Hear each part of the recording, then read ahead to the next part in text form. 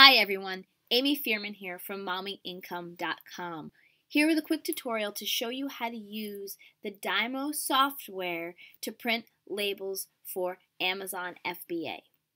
If you have a Dymo, you know that you can print your product labels. But did you also know you could also use your Dymo to print your expiration date labels and other labels that may be helpful to you for your Amazon FBA business?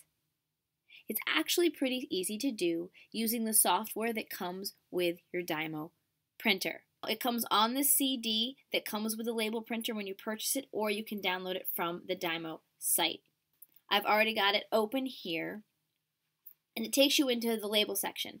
Now, there are two types of labels that people use for Amazon FBA. There's a 30252, which is one and an eighth by three and a half, my preferred label is the 30334, one and a quarter by two and a quarter. It's the one I started with. It's the one I've stuck with. I don't see a need to change. I now buy them in bulk. So that's the label. Now I'll show you what I've done is I've created a number of different labels that I've saved. That's what I love about this is I can save them. I only have to create them once and then I have them to go back to the next time I need to print them. Now here's my Best By one, my expiration date label. I just go in, I click on it again, I can change this to be whatever I want it to be. And then I can just print however many or however few I like.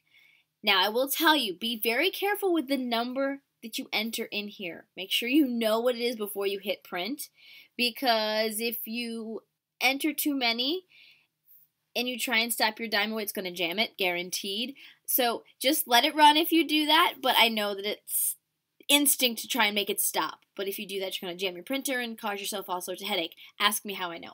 Now, I also have a number of other labels that I've created on here. I've got this is a set do not separate. I use these on anything I put together as a set because Amazon is notorious for taking sets apart.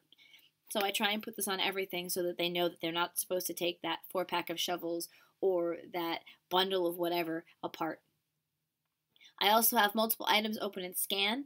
If I pack a bunch of smaller things into a box, I had them throw an entire box of makeup away once because they didn't open it and scan it.